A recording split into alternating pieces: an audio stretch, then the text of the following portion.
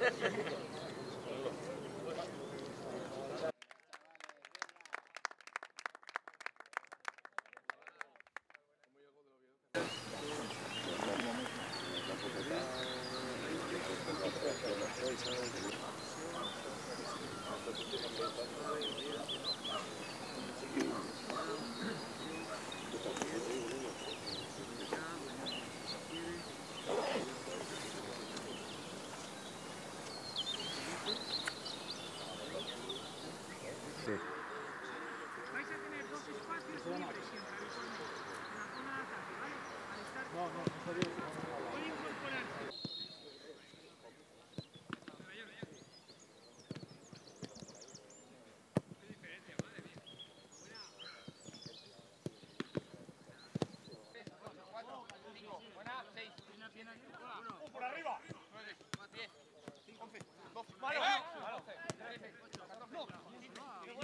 Salimos así, ¿vale?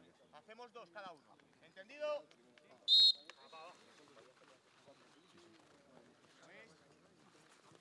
Series aquí? Importante para nosotros empezó el 14 de julio ¿eh? Eh, y en estos meses nos hemos ganado el derecho y el privilegio de participar en la eliminatoria que te da poder un ascenso directo a Segunda A y, y el haber ilusionado a toda una ciudad con esa posibilidad. A partir de ahí cerramos una competición que con éxito y empezamos otra que dura en principio 180 minutos y, y a la que vamos, pues como te decía antes, muy ilusionados. Bueno, pues Real Oviedo quieres decir, ¿no? Vale. Eh, mira, en estas eliminatorias, y hace poco tenemos ahí el, el Juve Madrid, eh, a priori unas veces pienso una cosa, hay que jugarlas. Cuando están tan igualadas, mmm, no puedes predecir mucho qué va a pasar. ¿eh? Puede pasar cualquier lance de fútbol que, estamos acostumbrados a ver, que es ponerte por delante nada más empezar, que se pongan ellos, pero son 180 minutos. Eh, y a mí jugar primero en casa, sinceramente, me hace mucha ilusión. Eh, la gente que hablaba conmigo a nivel privado y personal se lo decía. Eh, ver la ilusión que vamos a tener todos, ver el tartier lleno, eh, partiendo de cero, que no vienes condicionado por ningún resultado, me hace mucha ilusión. A partir de ahí, lo que quiero es sacar un buen resultado, una victoria y, y, y ascender, pero me lo tengo que ganar el campo. Y estoy convencido que lo que vamos a ver este domingo aquí eh, nos va a dar alas y va a sacar lo mejor de nosotros. Y si saca lo mejor de nosotros somos capaces de darlo. A ver, eh, tener mucha información muchas veces no es sinónimo de. Es fútbol. El fútbol yo creo que es uno de los deportes más. In, o por lo menos, yo sé que conozco directamente el más, que más improvisado hay. Eh, y cuanta más información tengas, a veces confunde.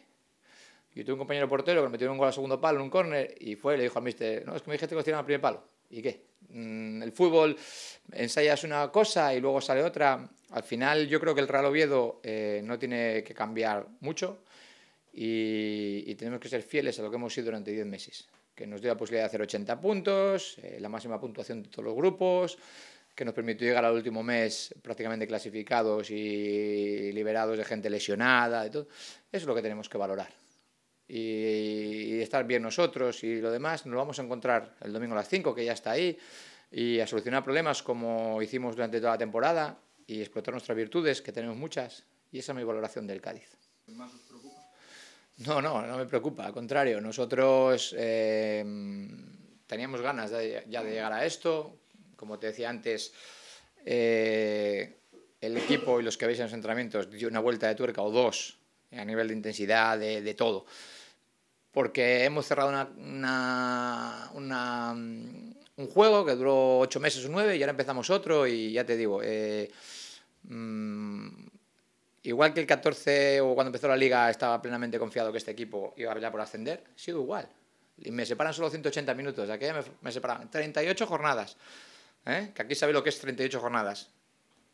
Y normalmente me separaban tres eliminatorias, ahora me separa una. Vamos a animar, vamos a disfrutar y nosotros intentaremos conseguirlo. Por eso creo que estamos en ese momento y además no tengo ninguna duda de que nuestra gente nos va a llevar, vamos, en volando lo siguiente y nosotros, eh, pues eso, que seamos capaces de mostrar nuestras virtudes y tener humildad suficiente como hemos tenido en todos los partidos para afrontar este partido que dura 180 minutos.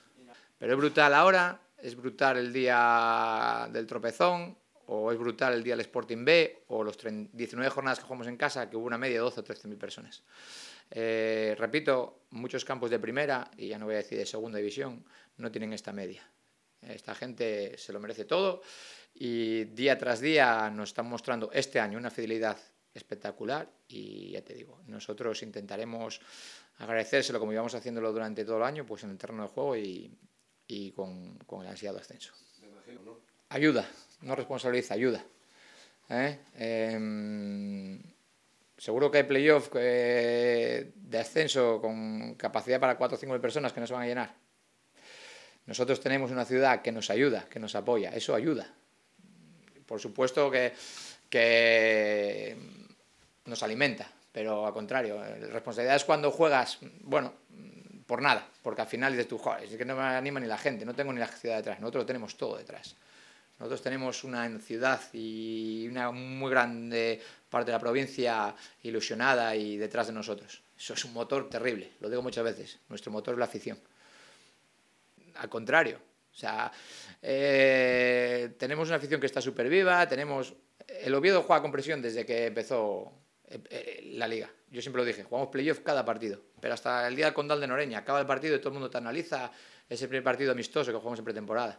Que Juan al Oviedo eh, vive en un partido de playoff constante. Hemos jugado 38, lo solventamos en líneas generales estupendamente y ahora estamos a dos de, como decía tu compañero, después de 12 años de, de volver a este club a la Liga de Fútbol Profesional. Eso no puede responsabilizar, eso no puede intimidar, eso tiene que animar y envalentonarnos y saber que estamos a un paso de algo que hace muchos años que no se consigue aquí y que si lo conseguimos se nos valorará como debe ser.